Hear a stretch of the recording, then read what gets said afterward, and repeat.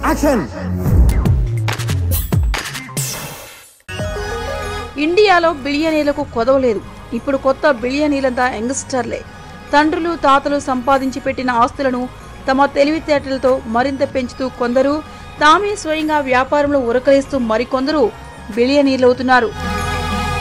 ఈషా ఆకాష్ అంబానీ. ఇండియాలోనే అత్యంత ధనవంతుడైన ముఖేష్ అంబానీ పిల్లలు వీరు.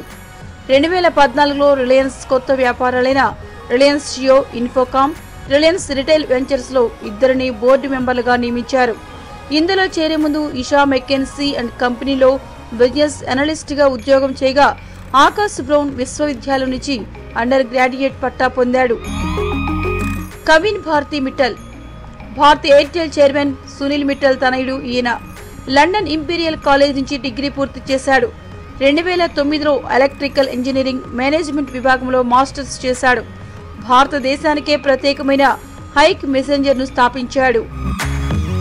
అలోక్ సంఘ్వి దేశంలో రెండో అతిపెద్ద ధనవంతుడైన సన్ ఫార్మా వ్యవస్థాపకుడు దిలీప్ సంఘ్వి పెద్ద కొడుకు అలోక్ సంఘ్వి. మిషిగన్ విశ్వవిద్యాలయం నుంచి మాలిక్యులర్ బయాలజీలో గ్రాడ్యుయేషన్ పూర్తయింది. పివి పవర్ టెక్ ప్రైవేట్ లిమిటెడ్ను ప్రారంభించాడు. దీని ద్వారా యూరప్ ఆసియా ఆఫ్రికాలో పలుచోట్ల సోలార్ పలకను ఇన్స్టాల్ చేశారు.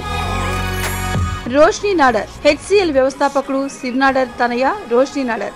ప్రస్తుతం ఆమె హెచ్సిఎల్ సీఈఓగా వ్యవహరిస్తోంది. శాస్త్రీయ సంగీతంలో శిక్షణ పొందిన రోష్ని సికార్ మల్హోత్రాను పెళ్ళి చేసుకున్నారు.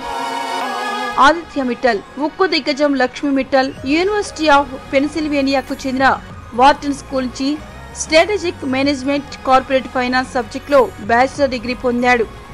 కంపెనీలో చేరకముందు investment bank Credit Suisse First బోస్టన్స్లో mergers acquisitions డిపార్ట్మెంట్లో పనిచేశాడు. ప్రస్తుతం ఆర్సెలర్ మిట్టల్ సీఈఓగా వ్యవహరిస్తున్నారు.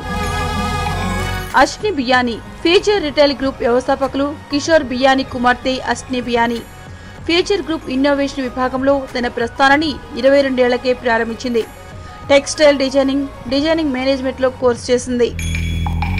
రోహన్ మూర్తి ఇన్ఫోసిస్ నారాయణమూర్తి తనయుడు రోహన్ మూర్తి రోహన్ హార్వర్డ్ నుంచి కంప్యూటర్ సైన్స్లో పిహెచ్డి సాధించాడు.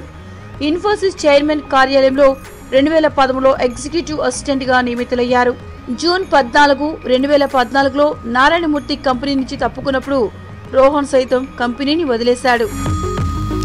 రిషద్ ప్రేమ్జీ విప్రో అధినేత అజిమ్ ప్రేమ్జీ కుమారుడు విప్రో లిమిటెడ్లో బోర్డు మెంబర్ చీఫ్ స్ట్రాటజీ అధికారిగా రిషద్ ప్రేమ్జీ విధులు నిర్వహిస్తున్నారు. విప్రోలో చేరకముందు లండన్ బైనండ్ కంపెనీలో పనిచేశాడు. అనన్య శ్రీ బిర్లా. కుమారమంగళం బిర్లా కూతురు అనన్య శ్రీ బిర్లా. సామాజిక వ్యాపార కోణం కలిగిన ఈమె స్వతంత్ర మైక్రోఫిన్ అనే సూక్ష్మ రుణ సంస్థను ప్రారంభించారు. దీని ద్వారా గ్రామీణ రుణగ్రహీతలకు తోడ్పాటునందిస్తూ వారు తమ సొంత వ్యాపారాలు స్థాపించేలా ప్రోత్సహిస్తున్నారు. మీకు ఈ వీడియో నచ్చితే ఒక లైక్ కొట్టండి లేకపోతే కామెంట్ చేయండి బట్ సబ్స్క్రైబ్ చేయడం మర్చిపోకండి.